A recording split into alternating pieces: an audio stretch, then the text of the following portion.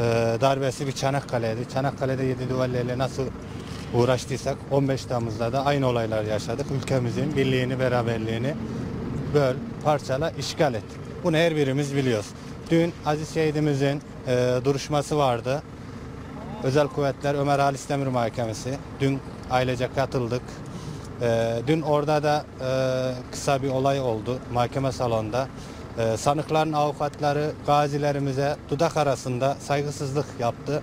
Gazilerimiz de tabii e, yani bu vatan millet uğruna canını feda eden gazilerimiz de dayanamadı, sabredemedi. Biraz baskılı davrandı.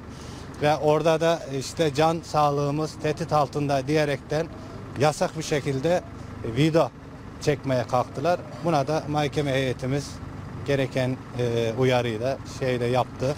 E, bugün de çatı davalarına katıldık. Gazilerimiz ve şehit ailelerimizle birlikte davalar bizim davamız. Dava ülkemizin, milletimizin davası. Hep beraber katılıyoruz.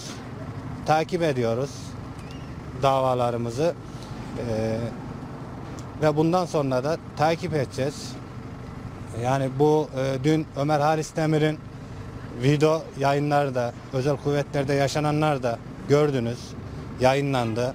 Yani şunu bilelim ki biz bu vatan uğruna 30 kurşun yiyoruz, yiyorsak bu vatanı 3-5 tane çapulcuya bırakmayacağımızı hepimiz biliyoruz.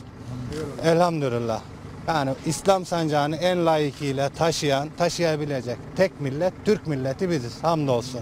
Yani söz konusu vatan milletse 30 kurşun olsa ne yazar, 30 bin kurşun olsa ne yazar. Görüyorsunuz.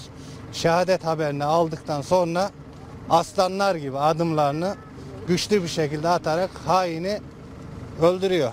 Yani şunu da söyleyelim ki ülkemize, milletimize göz diken bir hainin canını almadan da hamdolsun can vermek.